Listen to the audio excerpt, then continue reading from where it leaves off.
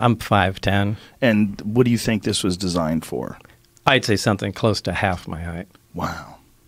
So these little three foot tallish creatures. Yeah, and it, the the seats were small too. I mean, obviously it was made, you know, for something something small. But there was no like there's there's nothing else in there.